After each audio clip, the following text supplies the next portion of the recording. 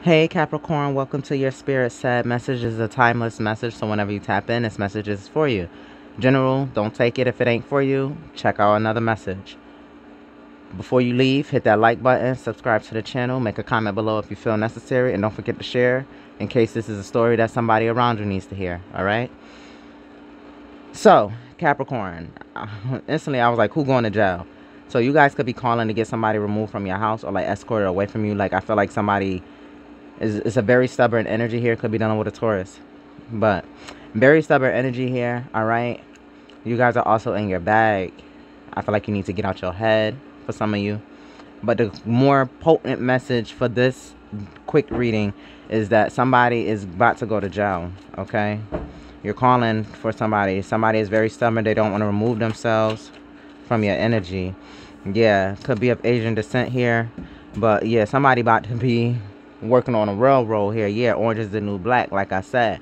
Overpopulated. Somebody got to go. You're trying to get somebody to get out. Like you're trying to show somebody like, yo, you can go and be about your business somewhere else. Yeah, but this person is your biggest fan, like in a creepy way. They see that you have everything and they're leech. I'm feeling leech energy.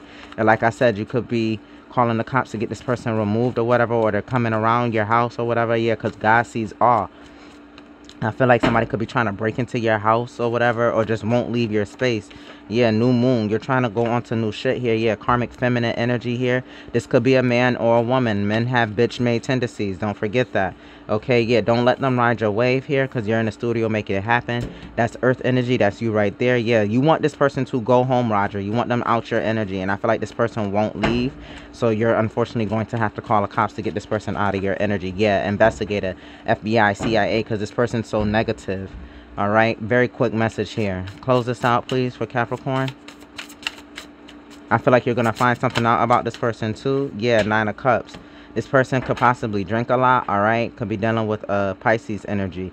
This person could, though, like I said, could drink a lot or whatever, or they want to suck you out of your happiness. Yeah, Six of Cups, somebody from your past. They could have had you in third-party situations as well.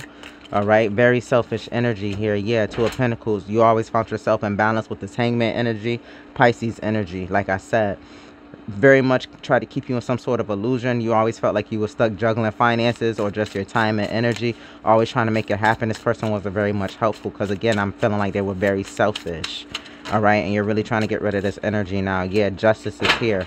Libra energy. Yeah, Eight of Pentacles. Yeah, the Eight of, like I said, the Eight of Swords came back out with the King of Wands and the Death card. Could be dealing with a Scorpio, could be dealing with a fire sign, Aries, Leo, Sagittarius. But that's like, and then the Eight of Swords.